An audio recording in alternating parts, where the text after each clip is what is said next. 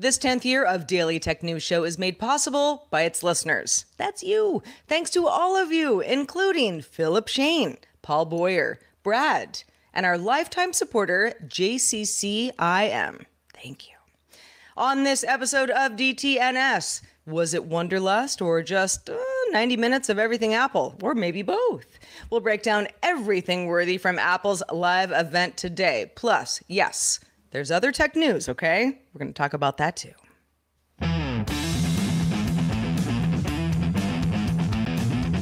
This is the Daily Tech News for Tuesday, September 12th, 2023. From studio, Aria Barales. I'm Sarah Lane. From just the edge of Atlanta, I'm Nica Montford. And a little farther out in the suburbs of Atlanta, this is Terrance Gaines. And on the other side of the country, I'm the show's producer, Roger Chang.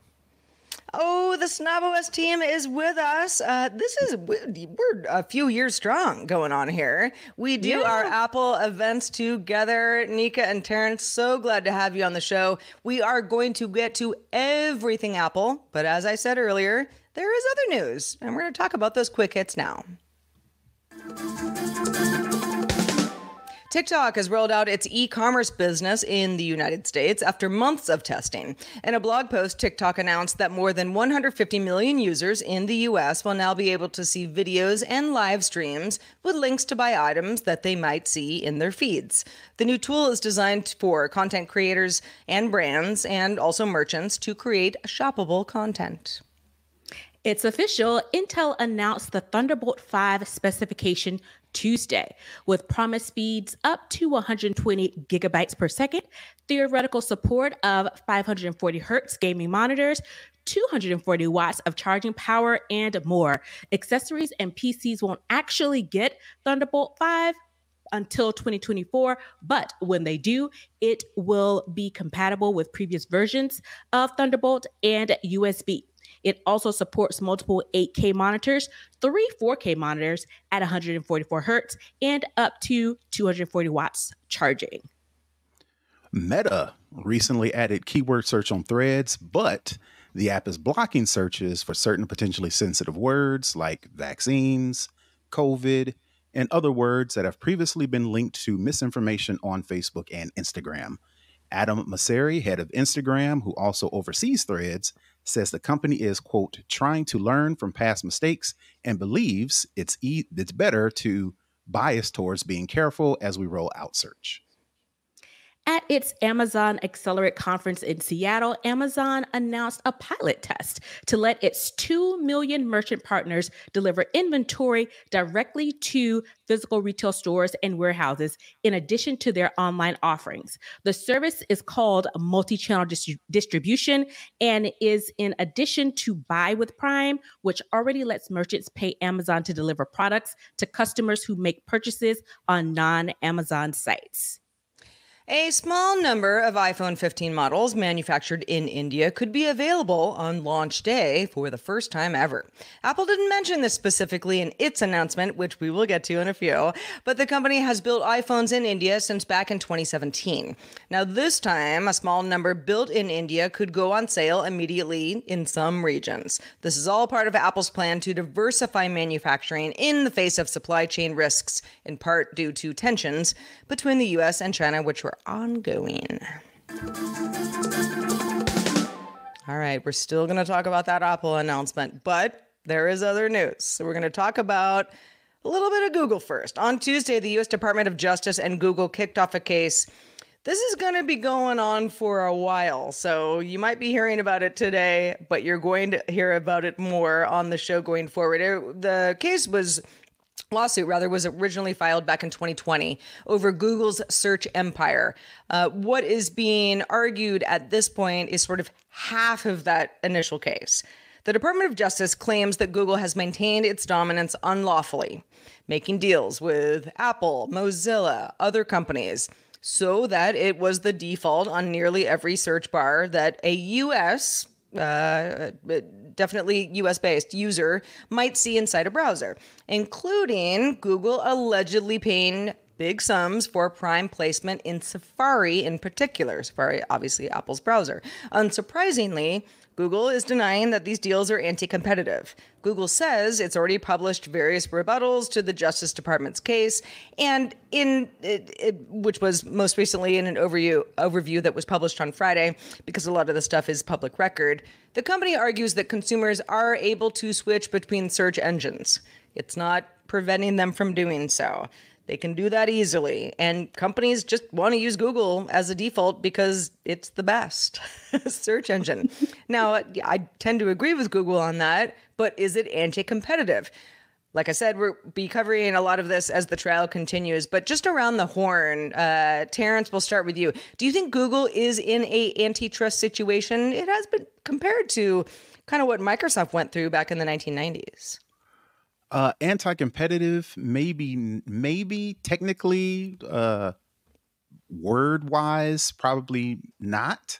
But uh, two things can be true at the same time. I'm pretty sure Google has made sure to uh, grease the palms, for lack of a better term, for all these companies, like you mentioned, Apple, Mozilla, and other companies, to make sure that Google is the de facto default. Now, whether or not is the actual default, I don't know if that's going to work simply because uh, Google does say, hey, you know, um, we just make it easier for them to do it. We don't default to it. But again, you know, the person with the most money, they're not going to be seen favorably, but I don't know if that's illegal. Nica, what are your thoughts? I remember when, especially when you know the the uh, smartphone world that we live in now was just coming into play. Uh, there was a lot of talk about, you know, what what's the default search engine? You know, what are our mm-hmm. options? I don't hear a lot of noise about that anymore.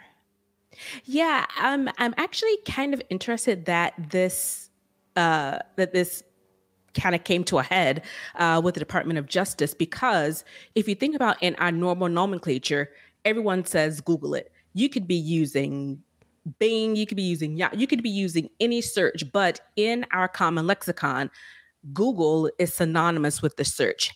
I think, you know, for people who aren't getting the benefit from this, it may kind of irk them. Um, I don't think it's necessarily illegal, especially when you have other large companies partnering with Google. So it's not something that's, you know, being forced for for other companies to use it's like okay we realize that this search engine is the most popular.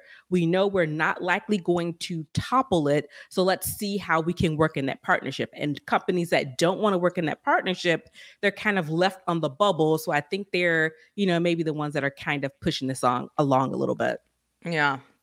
Well, uh, we will continue to follow the story. Uh, I think it's supposed to go about 10 weeks. Um, at least this this particular part of the anti antitrust as it's being called uh, trial um, google versus the doj we will keep you updated as we learn more. But today is a big day for Apple enthusiasts, or even if you're not an Apple enthusiast, you might have just hated that announcement that they just gave us. Uh, the show is for all of us. So let's talk about everything that was announced at Apple's Wonderlust event today. It started at 10 a.m. Pacific time, ran just under uh, an hour and a half we had a kind of long sketch off the top uh, that was a little corny, a little cringy, but uh, some people liked it, starring Octavia Spencer as Mother Nature. This was Apple's way to showcase that the company is becoming a carbon neutral uh, company um, and and and showcased uh, what they've done thus far wind farms um, figuring out how to use recycled materials in all of their products that was pushed pretty heavy off the top. But uh, let's get into the nuts and bolts. We kind of we started with the Apple Watch, and then we went into the iPhone. So let's start with the Apple Watch. We, we'll go um, chronologically the way that they did uh, in in the event. Uh, Apple Watch starting at three hundred ninety nine dollars. In fact, all the prices that we're going to talk about, this is the starting price.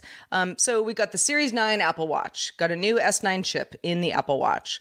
some pretty cool stuff. Uh, on device processing will let Siri uh, tell you your health data uh, with the watch that you're wearing. Uh, previously, this was something that would connect to, well, and it still will connect to your iPhone and be able to get it through the health app. But this is something that uh, wasn't available on the watch itself before. Uh, launching with English and Mandarin language at first, other languages to follow. Um, and before I get into some of the other specs, Nica, Terrance, what were your initial thoughts here?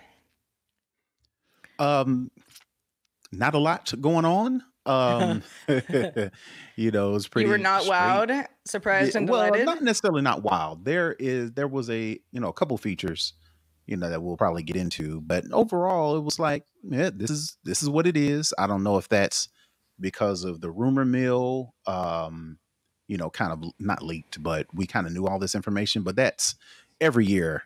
Uh, they leak enough information to where when the actual announcement comes, we're kind of like, uh, check, check, check. And it feels like that's another one of those years. This year is kind of like, up, check that off the list, check that off the list. Nothing to see here. Let's keep moving.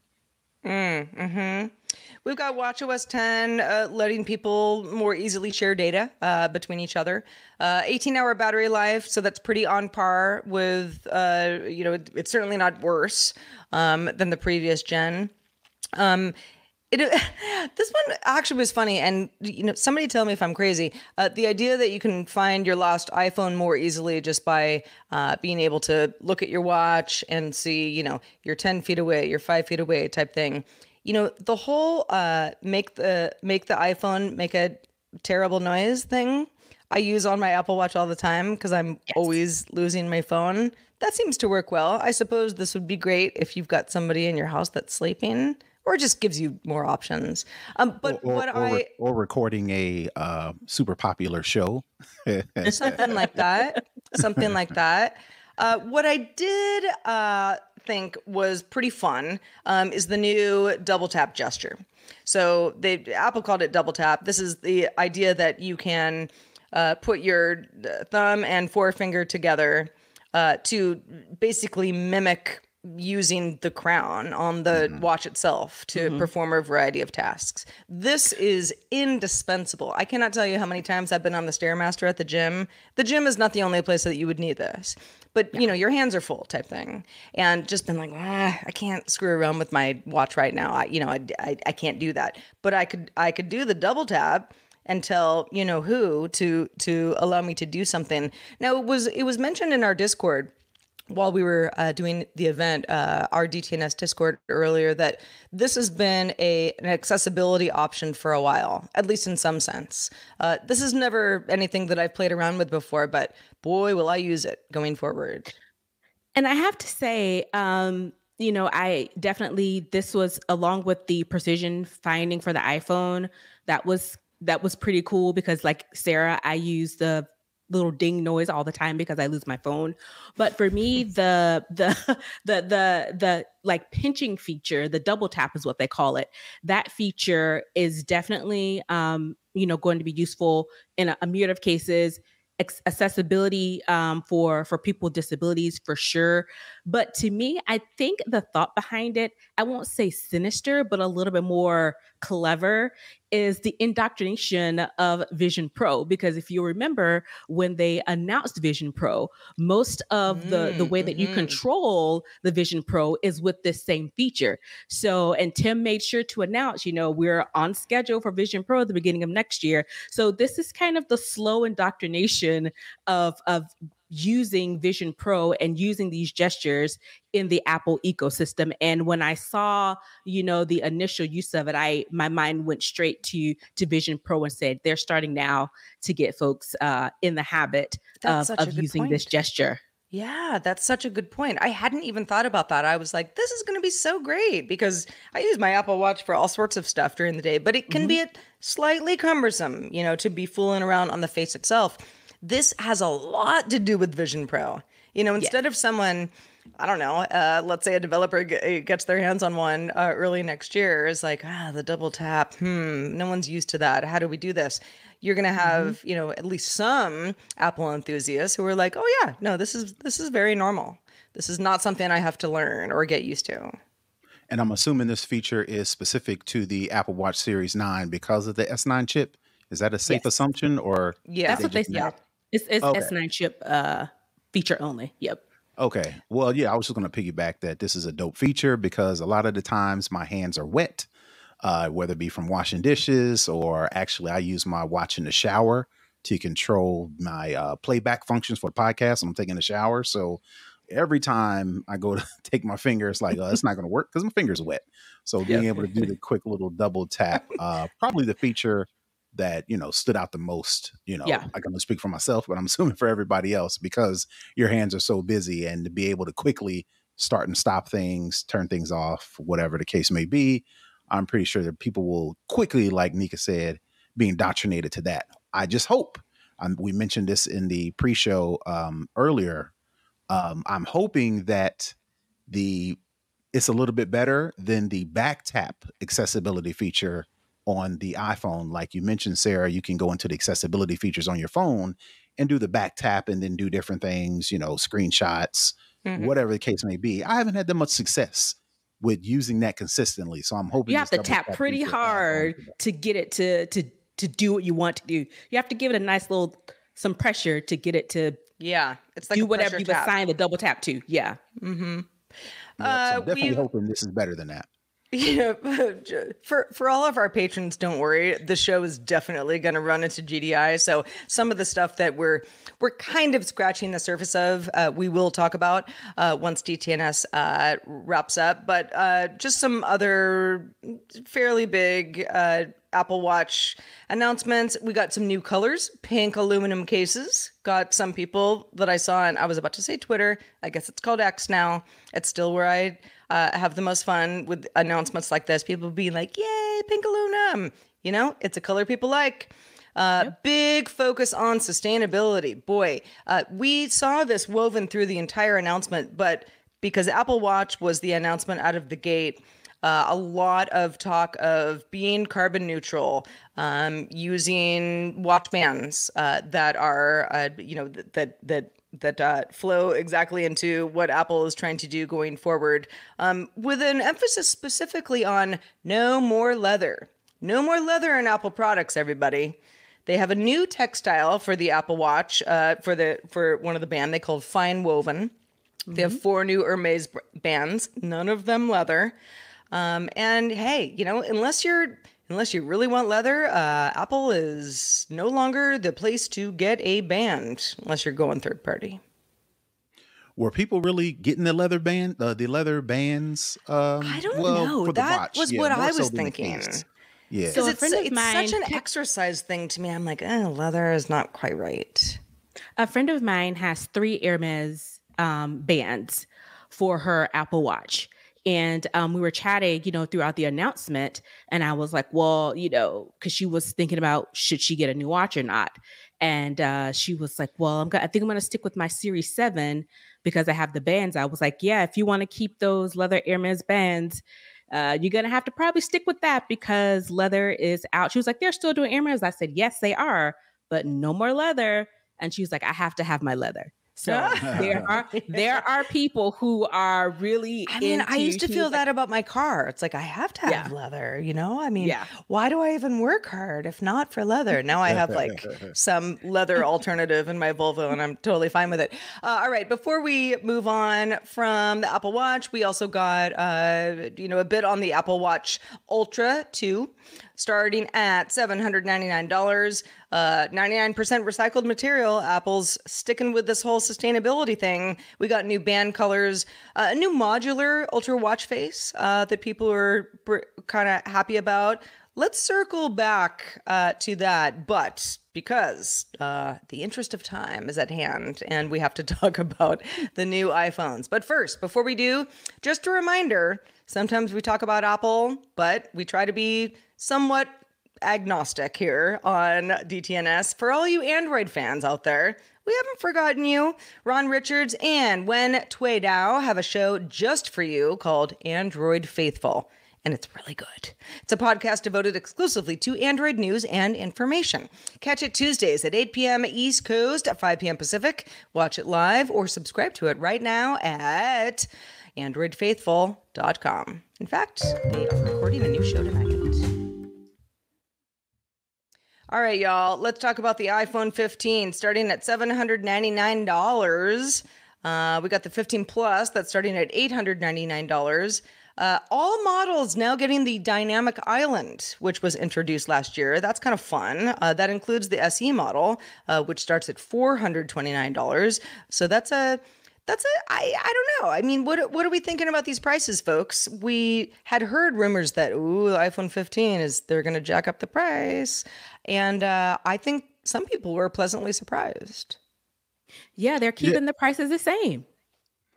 Yeah, and not only that, they're offering what, what the 128 as the base model mm-hmm, storage. Mm-hmm, mm-hmm. Yeah, so that I'm pretty sure a lot of people are happy about that because anything under that is almost hard with photos nowadays. But that's just me. and the yeah, trade-in I mean, values too. I don't remember the trade-in values being that high, unless I I never trade mine in because I'm a hoarder of tech. But um, they were talking about you know what you could the trade-in value, and it seemed pretty high if if I'm not mistaken. It's it's more but again, you can still. I've been promised this before by Apple, though, and sometimes when you go through, you know, all of the steps to tell them what you have and how it might not be in pristine condition, you're like, oh, okay, it's not actually worth what you okay. gave well, me. But you know, that's also saying like base model versus the model that you actually want, not always the same yeah. price. but uh, uh, as a notice, as somebody that does do a lot of trading and a lot of third party selling, put forth the effort and sell it third party because Apple's still going to try to get you. Right. So you're better yeah. off. Yeah, it's like you're better off going to Facebook Marketplace, OfferUp, even though those are a hassle. You the the extra money is worth it, in my opinion. We got a new OLED screen. Uh, also, Apple touted the 48 megapixel main rear cam. Um, you know, uh, of the of the the trifecta of cams. Uh, this is a big one also and this i i i noted this uh, right away because i thought it was interesting. Machine learning creating auto create portrait mode. Now apple used a different term for this. I think it was computational tech. And i was like it's machine learning. Um, which is listen if if you've got an issue with ai in your device Apple's not the first company to roll this out, but other companies have really gotten flack for this sort of thing. Oh, well, it's, you know, it's not really the photo that, you know, they were promising you. The sensor isn't really that great. They're doing some, you know, device processing. I'm not personally upset about this. You know, good picture is good picture. A good picture yeah. is a good picture. You said it. Absolutely. There you go. And let's be honest, no one can really complain about AI machine learning now because it's literally baked into everything that we have coming out now. So, you know, this is this is where we are. So, take the really good picture uh, that you're going to get out of this and keep it moving.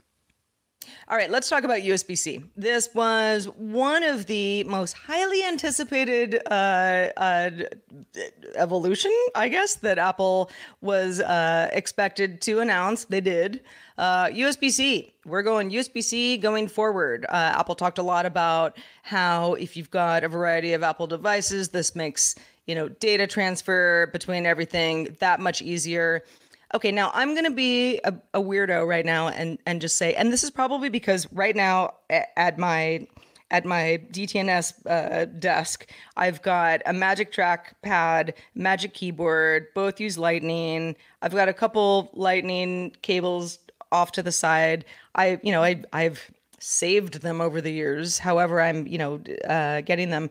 I don't have an issue with Lightning in general.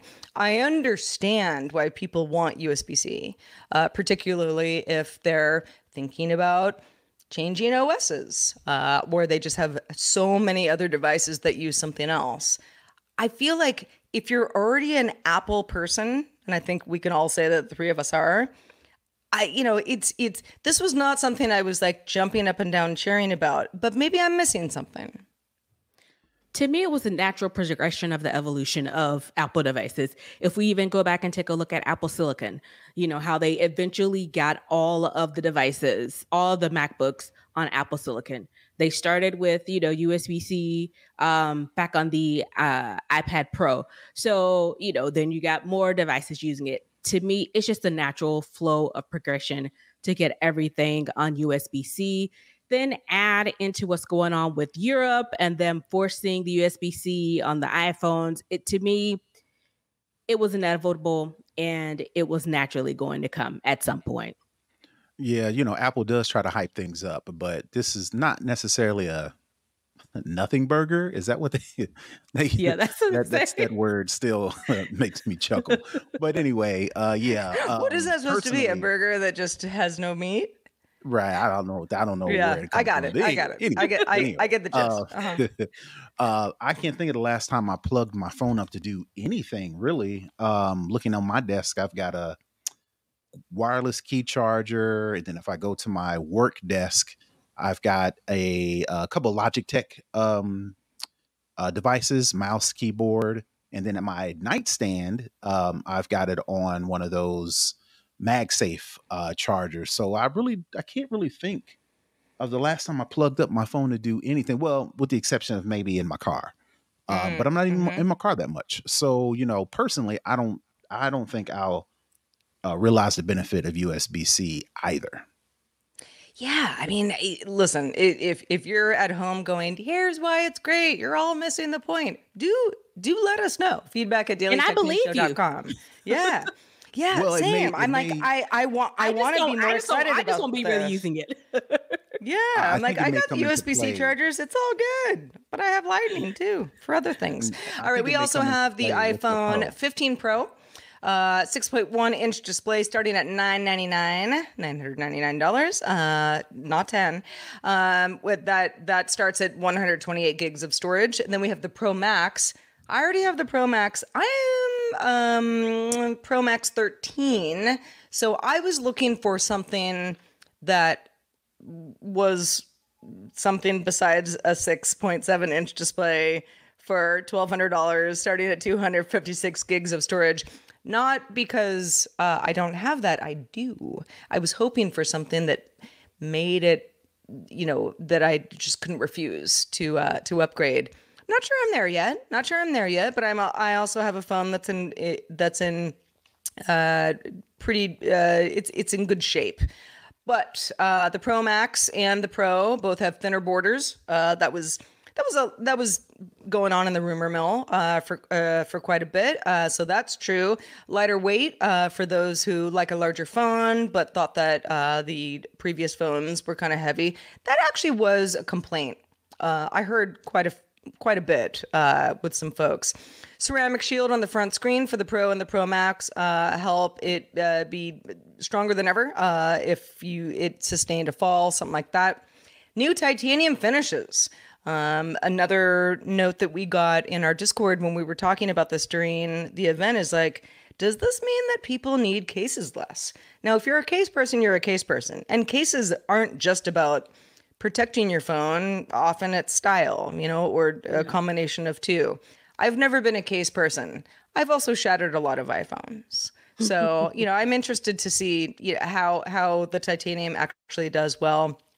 Um Apple touted more repairability internally. Um, uh, the, the new action button uh, that used to be on the left hand side to basically uh, either go uh, silent or not silent now is an action button, which mimics the watch in a way, I suppose, where you can say, yeah, we can still do that, but we can also assign that action button to something else that makes more sense to us.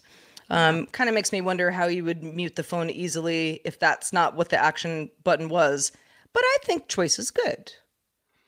Yes, uh, specifically for me because I am more and more and more trying to get into shortcuts and the Mm. ability to use the action button to run shortcuts, i.e., home automation, run lights, um, run any sort of quick actions that you normally do, like tell my kids to uh, wash the dishes.